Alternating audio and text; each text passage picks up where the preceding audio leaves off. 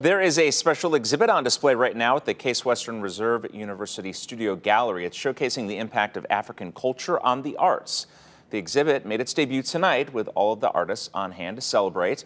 They're all alumni of Case Western's art education program. You can check out the exhibit anytime between now and March 6th.